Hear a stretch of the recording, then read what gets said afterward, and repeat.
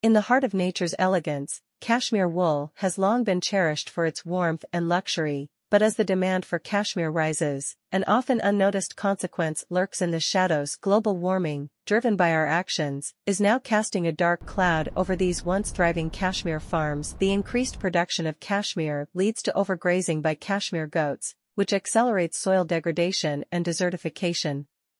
Trees are cut down to create pasturelands, further contributing to climate change as forests play a crucial role in absorbing carbon dioxide. Additionally, the energy-intensive process of manufacturing cashmere garments releases harmful greenhouse gases.